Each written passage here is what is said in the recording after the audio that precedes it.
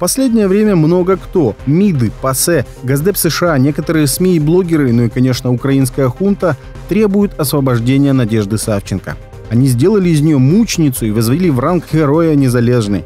Однако прокурор Украины в закулисе шоу Шустера рассказал, что Савченко повязали во время обычного мародерства. Так что это за герои на Украине такие? Как долго хунта сможет ими прикрываться и что пытается скрыть? Рассказал постоянный эксперт накануне ТВ, руководитель Центра координации «Новая Русь» Алексей Анпилогов все истории о так называемых территориальных батальонах самообороны, они не выдуманные. А какой же был принцип формирования данных батальонов? В эти батальоны в момент весны 2014 года набирали всех желающих. То есть это были добровольческие формирования, которые не чурались ни уголовного элемента, ни преступников, ни просто мошенников, которые хотели заработать что-нибудь на революции. На фоне всех остальных уже совершенно откровенных уголовников, Надежда Савченко еще выглядит более-менее нормально. Хотя, понятное дело, что за ней достаточное количество грехов, за которые сейчас осуждает российское правосудие. Вот такими героями сейчас и хвалится Незалежная. Но невзирая на столь большой международный ажиотаж вокруг персоны наводчицы, мы не должны потерять суть происходящего. А суть госпереворота на Украине остается прежней. Это неофашизм, его проявление и преступление – вот о них и не говорят, вот его-то и прикрывают тщательно криками о бедной и несчастной женщине, безвинно страдающей в застенках российского правосудия.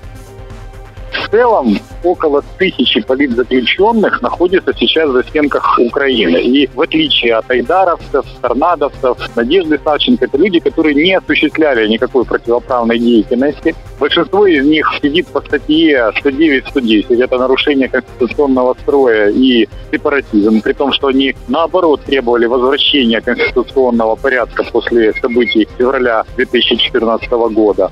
И часть из них сидит по откровенно сфабрикованным обвинениям, когда, например, беременную женщину обвиняют в терроризме. Ну, смешно, когда у кормящей матери или у беременной женщины на кухне находят в кастрюле гранату F1, например. Это вот практика действия сейчас украинского СБУ, которая не гнушается фабрикацией откровенных улик против тех, кого они не могут осудить за их политическую позицию.